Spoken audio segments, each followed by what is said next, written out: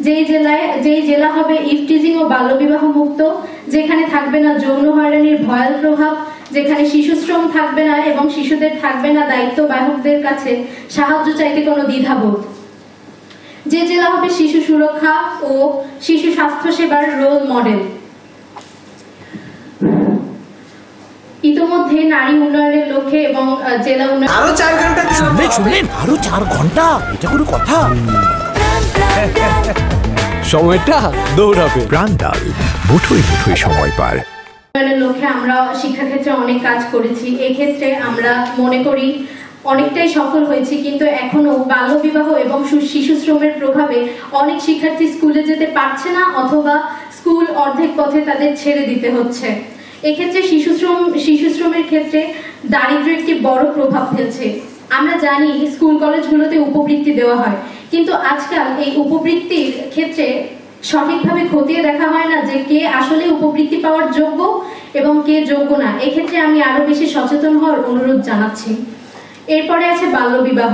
বাল্যবিবাহ হয়তো এখন প্রকাশ্যে কেউ করাচ্ছে না, সরকারের ভয় বা আইনের ভয়, কিন্তু গোপনে ঠিকই আমাদের অনেক সহপাঠীদের বিয়ে হয়ে যাচ্ছে।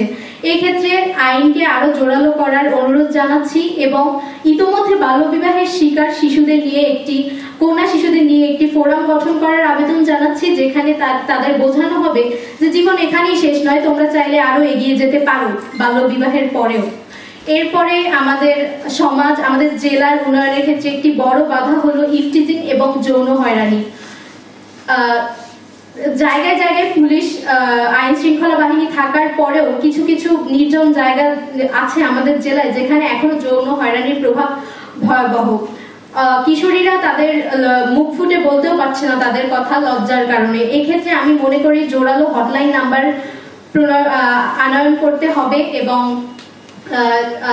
এখান থেকে যে বলল শিশু সুরক্ষা টিম, প্রত্যেকটি বিদ্যালয়ে একটি শিশু সুরক্ষা টিম গঠন করতে হবে যেন যে কোনো পরিস্থিতিতে যে কোনো বিপদে শিশুরা তাদের কথা সেই শিশু সুরক্ষা টিমের কাছে বলতে পারে এবং তারা যেন জেলা প্রশাসক মহোদয়ের দৃষ্টি আকর্ষণ করতে পারে।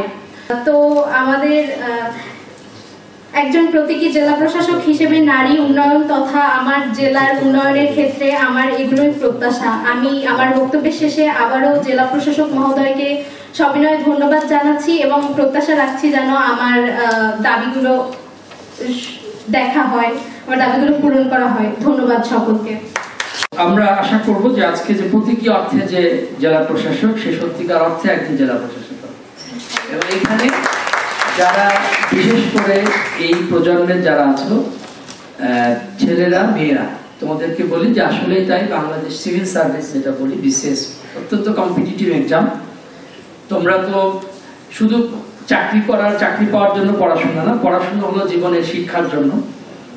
এটা এবং শিক্ষাটাও যেন খুব আনন্দদায়ক হয় এবং শিক্ষাটা যেন প্রকৃত অর্থে একজনকে, একজন মানবিক একজন মানে এবং মানে সব দিক দিয়ে সে যেন সেই গুণাবলী সম্পন্ন একজন যেন সুনাগরিক হিসাবে যদি বেড়ে ওঠে। আমরা বলছি স্মার্ট বাংলাদেশ আমরা করতে চাই।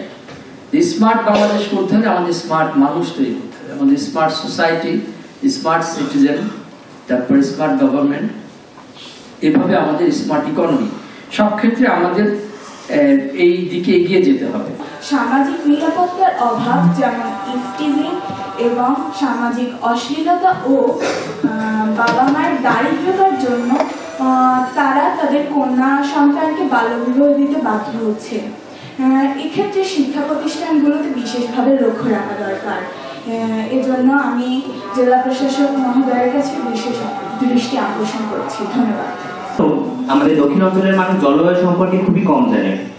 তাই আমি তাদের তাদেরকে বিশেষভাবে অনুরোধ জানাচ্ছি এবং যাতে তারা এই জলবায়ু নিয়ে তৎপর হন এবং বাংলাদেশের আহ, বরগুনার যেসব স্বেচ্ছাসেবী সংগঠন আছে যারা জলবায়ু নিয়ে কাজ করছেন তাদের এই বিষয়ে সাহায্য করা হোক।